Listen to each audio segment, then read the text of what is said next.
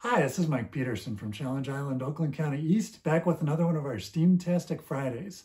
For the next five weeks, we're going to tackle fall. So we're going to talk about some of the steam that goes into the, this season of the year. So in particular, since this is our first week and we'll talk about science, we're going to talk a little bit about fall in a couple different ways. So we'll talk about why leaves fall and why leaves fall a little slower than some other things do. So first, why leaves fall. So when you look at leaves, you know, normally in the summer they're green. The reason they're green is they have a special chemical in them called chlorophyll. So what that chlorophyll does is that helps the leaf to act like a food factory for the tree. So what the tree does is it sends water up the tree, and then when it combines with the chlorophyll and with the sunlight coming from up above, that makes food for the tree. Now when we get to fall, everything gets a little colder, the sun kind of goes away, the tree has all the energy it needs for the winter, so the leaf really doesn't do much good anymore. So what the tree does, it's pretty smart. It actually takes all that, all those good nutrients back out of the leaf and puts them back into the ground so it can recycle them again for next year. So once all that's out, there's really nothing left for the leaf to do, so the tree lets the leaf go and it falls down. So, so that's why that's why leaves fall in the fall. But another thing that's kind of interesting about falling is the different objects can fall at different speeds. So there, there's a reason for that. So just for example, when it comes to a leaf, it takes about 350 leaves to make a pound. So trees, so leaves are pretty light. So in fact, they're about as light as a regular paper clip. So if I drop two things that are the same weight, you would expect that they would fall at the same speed. But if we try dropping them, let's see what happens here.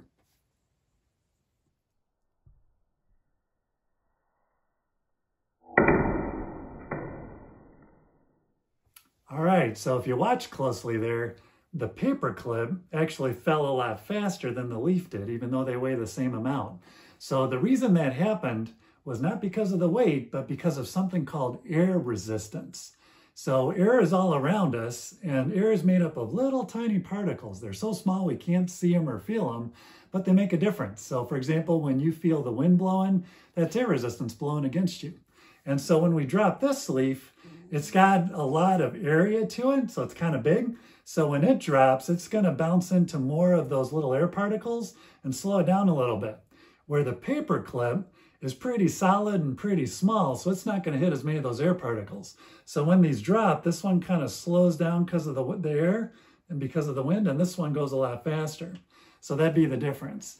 So if you'd like to experiment with that at home a little bit, what you could do is try taking a couple leaves or even a piece of paper, take that up somewhere high in your house and then drop something else that's a lot smaller but weighs about the same, like a paper clip or something like that, and watch and see how much of a difference you can get between one dropping versus the other, and you'll prove that you have air resistance going on. All right, well, thank you very much for joining us, and we'll see you again next week.